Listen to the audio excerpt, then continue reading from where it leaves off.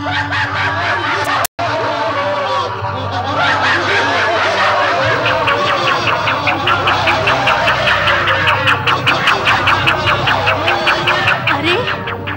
ये बारात है या भूत प्रेत का झमेला?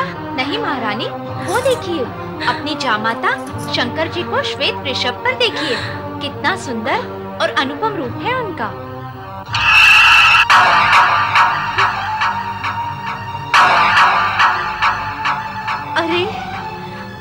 वर राजा। कोई सुंदर है ही नहीं। सब कुरूप ही कुरूप है। सब कुरूप ही कुरूप है। भूत भूत भूत क्या क्या हुआ?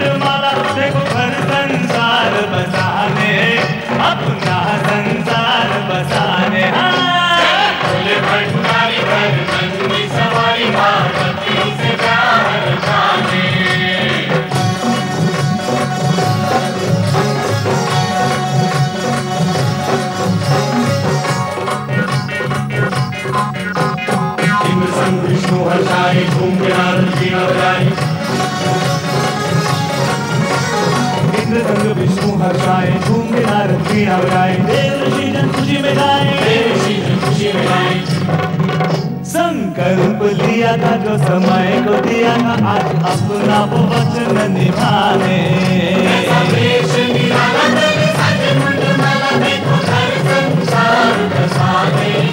अपना संसार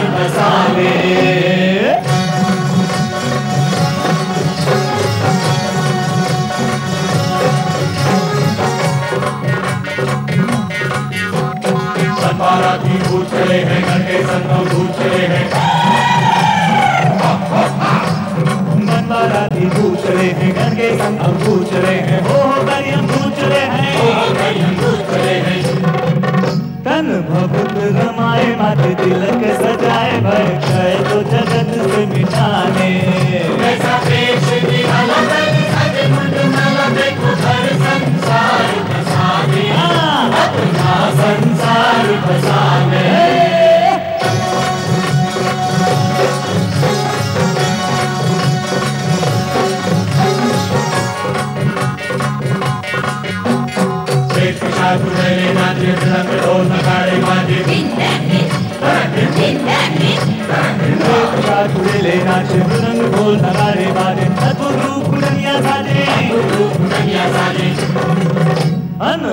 विपदाएँ और खुशियाँ मनाए कैसा खेल रचा विधना ने कैसा देश करे सज देखो हर संसार अपना। संसार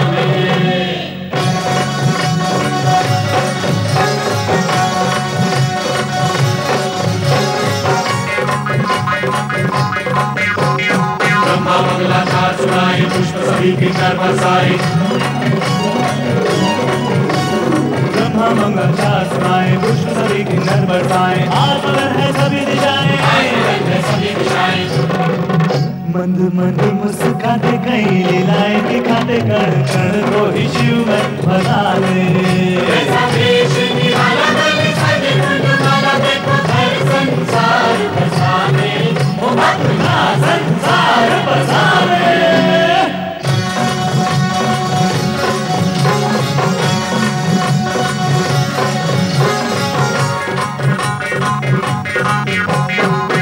कन्यादान करेंगे मैना देंगे भाग्य बनेंगे कन्यादान करेंगे मैना के भाग्य लगेंगे शिव शक्ति जब दोनों शिव शक्ति जब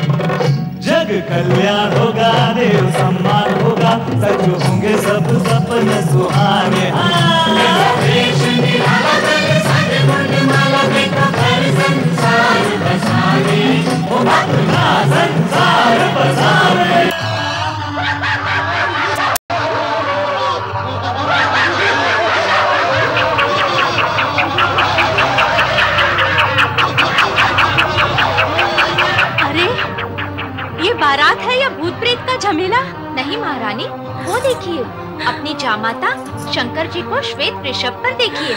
कितना सुंदर और अनुपम रूप है उनका।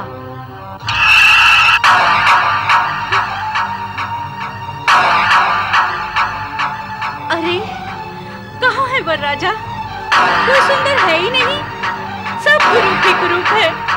सब कुरूप ही कुरूप है। भूत भूत भूत भूत। क्या हुआ सृष्टि ये वैरागी डमरूधारी देख रही है सृष्टि सारी ये वैरागी डमरूधारी कैसे बनते हैं संसारी? कैसे बनते हैं संसारी? हो योगी बाबा सन्यासी देखे मर खटवासी कैसा जीवन साथी चले अपना फिर संसार बसाने। अपना संसार बसाने।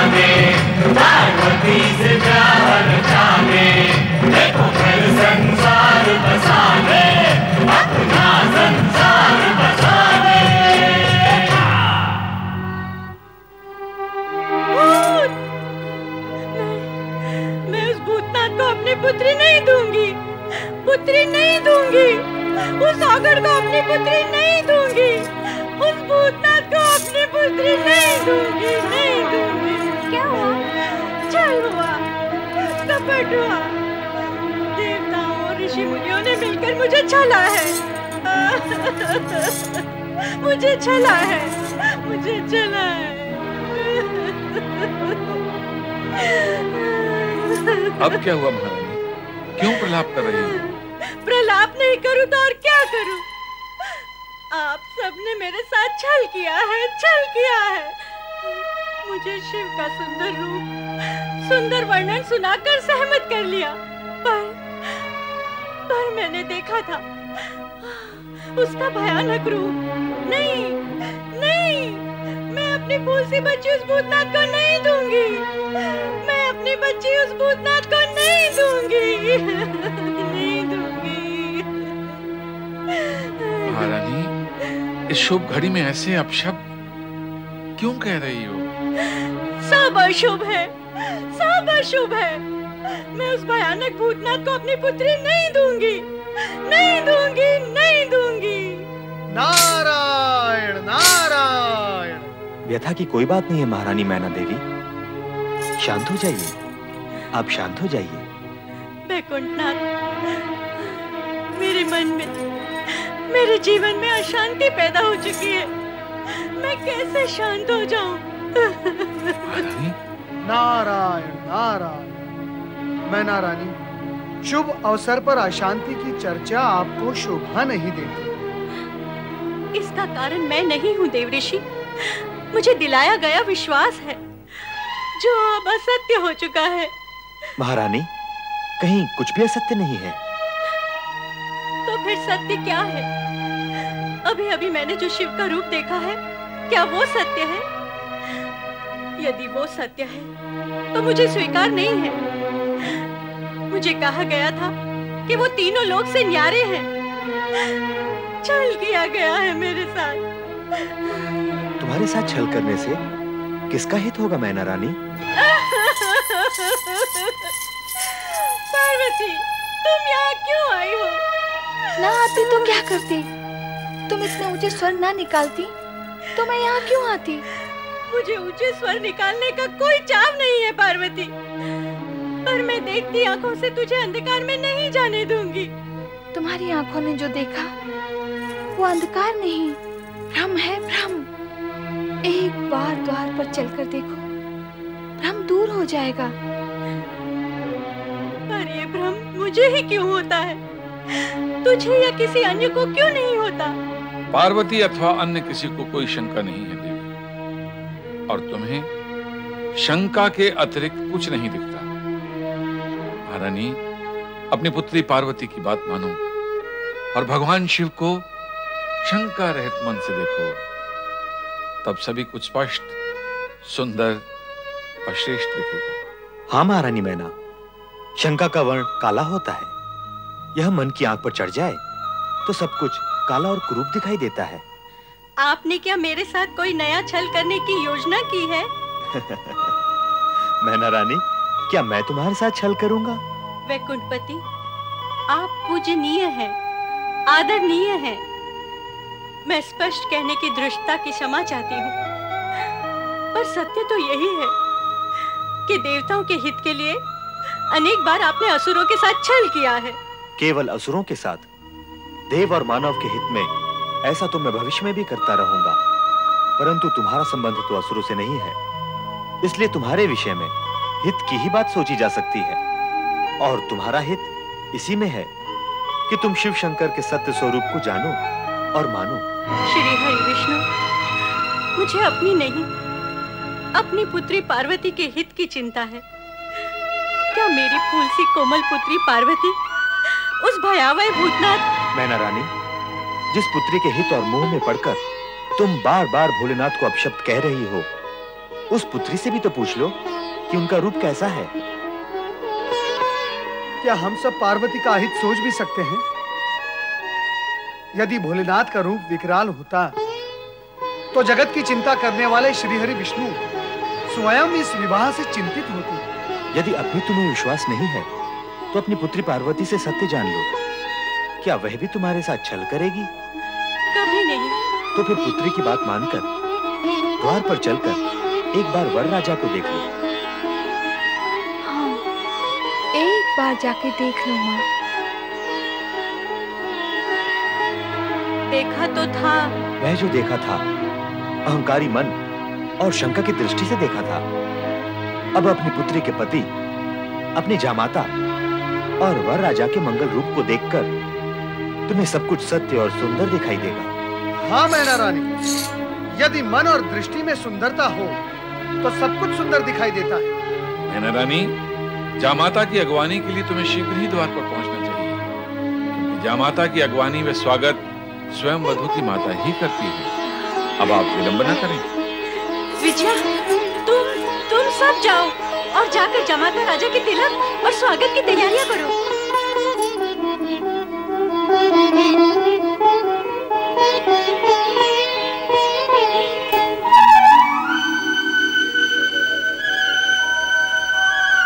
चराचरपति कैलाशनाथ भगवान शिव शंकर का मैनाक स्वागत करता है।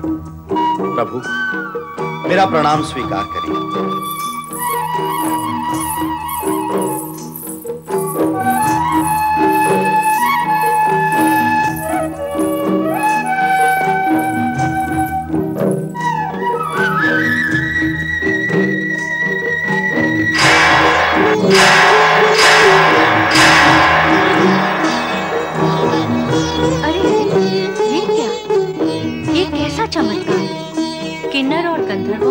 सुंदरता भी तुम्हारे इस रूप के समक्ष तुच्छ है। फिर मैंने तुम्हारा वो भयानक रूप कैसे देख लिया?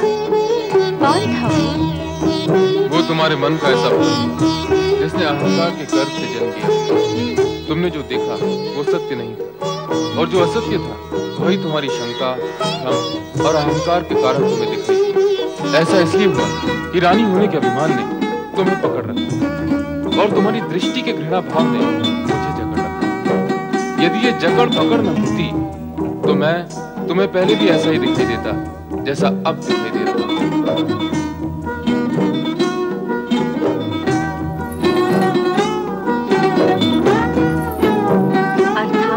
मेरा ही दोष था। हाँ लीला मेरी थी और दोष तुम्हारा था। तुम्हारा आशंकित मन ऐसे ही दृश्य और आकृतियाँ देखने का इच्छुक था जो तुम्हारे भ्रम, अहंकार और असत्य को संतुष्ट कर सके। जो कुछ तुमने देखा, वो तुम्हारी कुशंकाओं का प्रतिबिंब।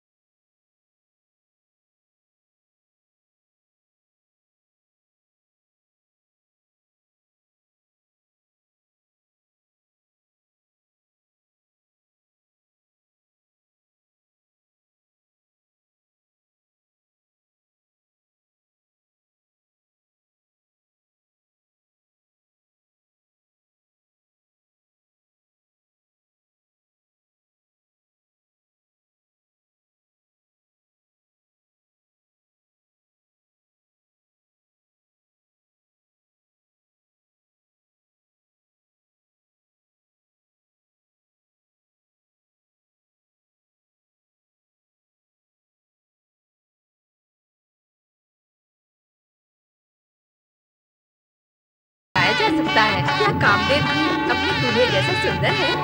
अरे ओ चपला कामदेव दूल्हे जैसे नहीं दूल्हे राजा कामदेव जैसे सुंदर हैं। चुप कर चुप।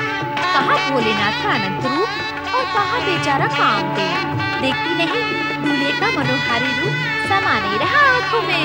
कुछ भी कहो हमारी सखी पार्वती है बड़ी भाग्यशाली जिसे ऐसा सुंदर सलोना रूपवान वर मिला है।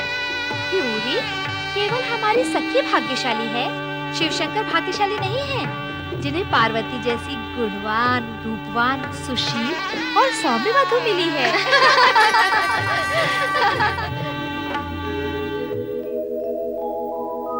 मेनादैवयुता सुधा मधुमयी सच्शान्तिदा मातृका। तद्वद्दैवयुतो हिमाचलयति साक्षात् स्फटिकापिता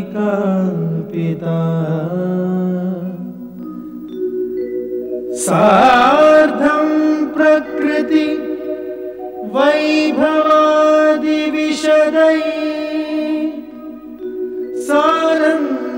सानन्दयुक्तैः स्वरैः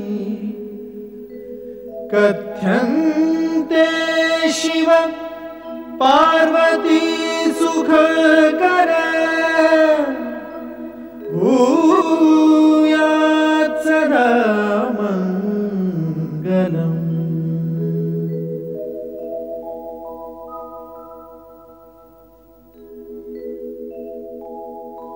आदौ भूतपतिः अऊममिलितो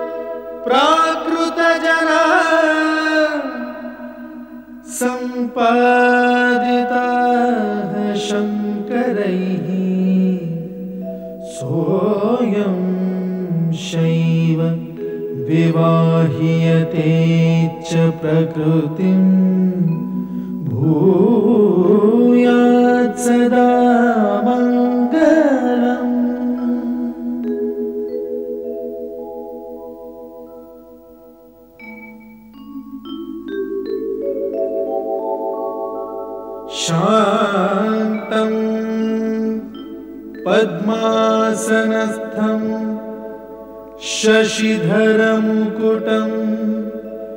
पञ्चवक्त्रं त्रिनेत्रम् शूलं वज्रं कृपाणं त्रिशूलमपि युतम् दक्षिणागे वहन्तम्।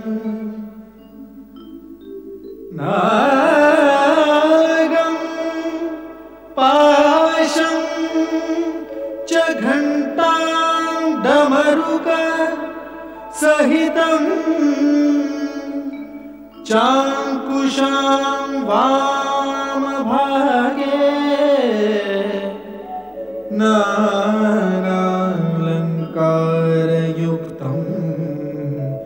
स्फटिकमणिनिभं पार्वतीशं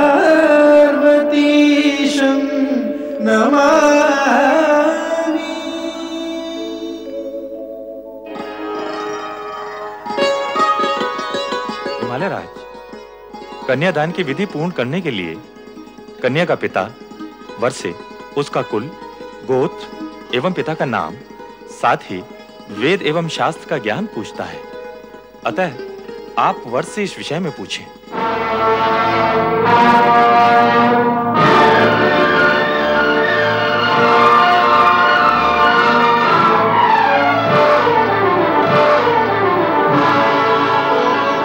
जो आज्ञा गुरुदेव।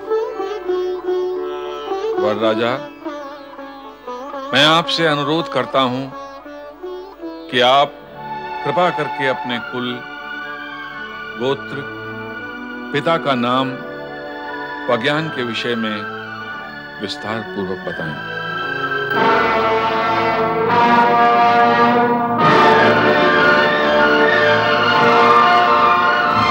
राज ये आप कैसा विचित्र प्रश्न पूछ रहे हैं? वैसा ही देव ऋषि जैसा कन्या का पिता कन्यादान के समय वर राजा से विधि अनुसार करता है। नारायण नारायण। हिमालय राज ना तो देवी पार्वती साधारण कन्या है ना ही भगवान शिव साधारण पुरुष। यहाँ ऐसे प्रश्नों की विधि आवश्यक नहीं है। पर देव ऋषि कार्य तो विधि के अनुसार ही होगा। ऋषिवर संपूर्ण कार्य विधि के अनुसार ही हो रहा है। विधि का पालन सुविधा और स्थिरता उत्पन्न करने के लिए किया जाता है। परंतु यदि विधि असुविधा और अस्थिरता उत्पन्न करती है तो प्रसंग और अवसर का विचार करते हुए उसे एक और किया जा सकता है। देवर्षि आप विधि से परे क्यों जाना चाहते हैं? मेरा वर्षे कुल गोत्र एवं पिता का नाम पूछने में आपको आपत्ति क्या है? नारायण नारायण। ऋषिवर आप इनके पिता का नाम पूछना चाहते हैं जो संपूर्ण जगत के पिता हैं। जिनके होने से पूर्व किसी का होना संभव नहीं हुआ। और जिनके होते हुए सब कुछ शेष रह जाएगा, उनके पिता का नाम पूछना चाहते हैं आप? तो सुनो, उनके पिता का नाम परम पिता ब्रह्मा जी भी नहीं बता सकते। मुझे क्षमा करे परम पिता। परंतु क्या आप शिव जी के पिता के विषय में कुछ बता सकते हैं?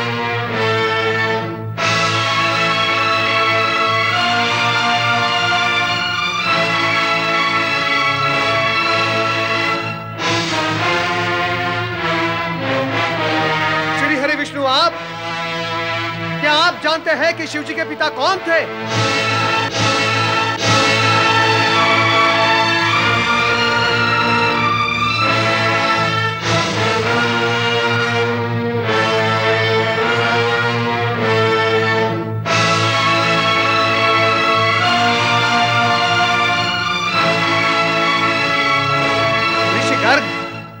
गणना का आरंभ तो एक से होता है। एक के पश्चात दो और दो के पश्चात तीन। परंतु आप मुझे यह बताएँ कि गणना में एक से पूर्व क्या है? बताएँ ऋषिवर कि गणना का अंतिम अंक क्या है?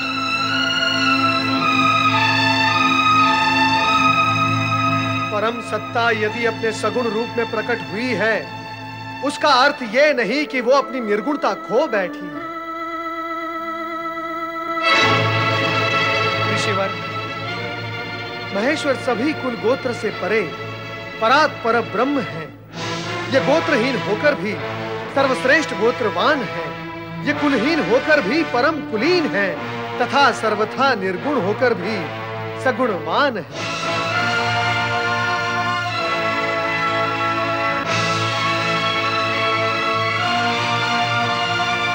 इनसे व्यर्थ के प्रश्न पूछना ही व्यर्थ है। ऋषिवर तनिक अपनी दृष्टि उठाकर देखिए शिवजी के उस मुखमंडल को। उस तेज पुंज को, जिसका न कोई आदि है, न अंत है।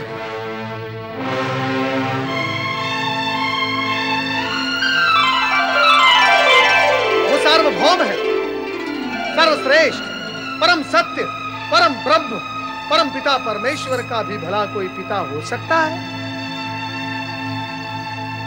क्षमा करें, क्षमा। क्षमा करें शिव शंकर मुझसे भूल हो गई।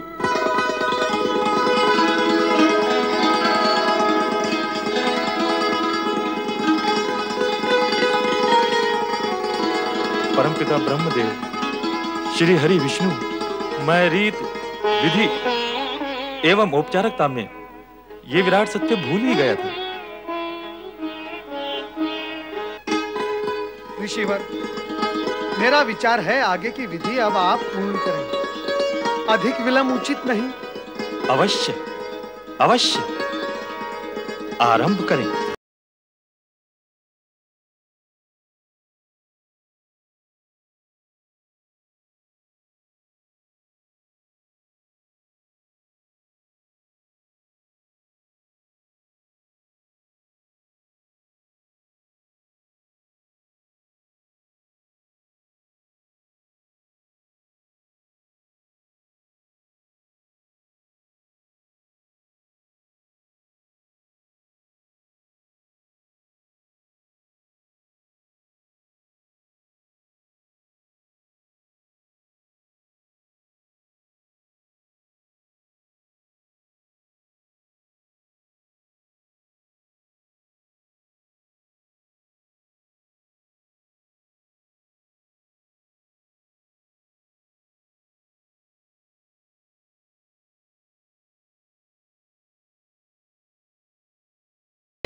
इमां कन्यां शुद्धम् अहं ददामि परमेश्वर।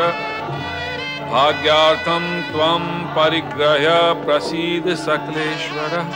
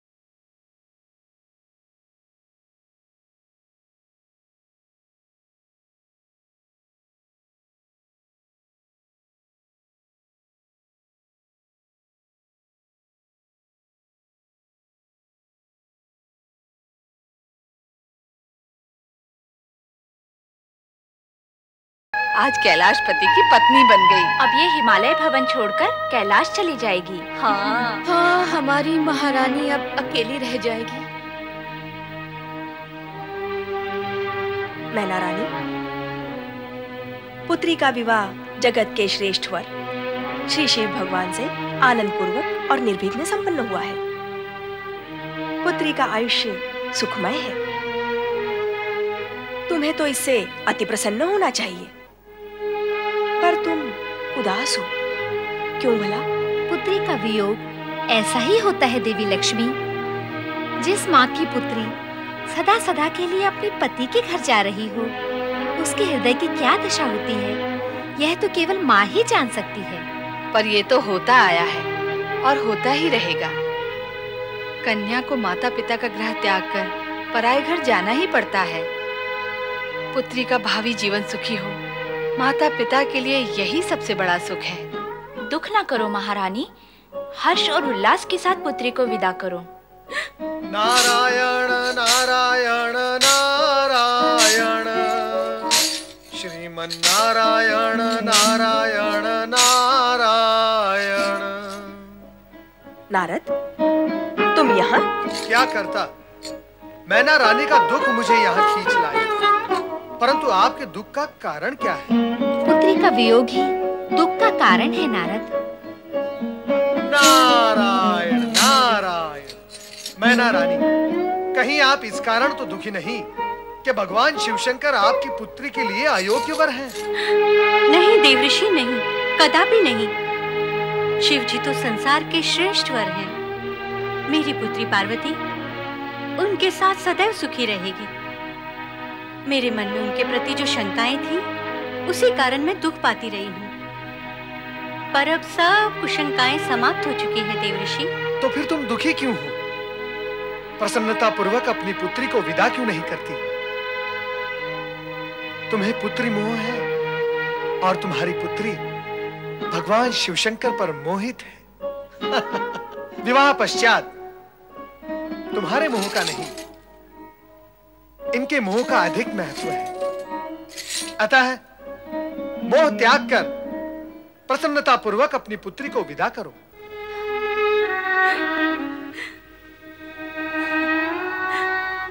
मैं माँ हूँ ना। पुत्री का मोह कैसे त्याग दूँ?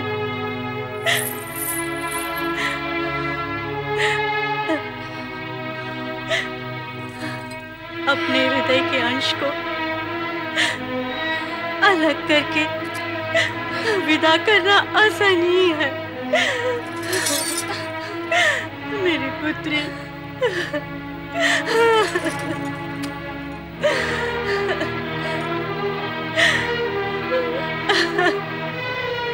मैना रानी पुत्री को सहर्ष विदा करो।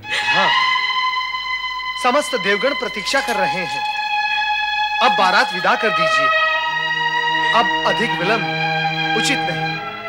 नारायण नारायण।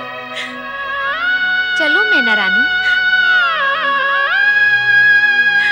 आओ पुत्री।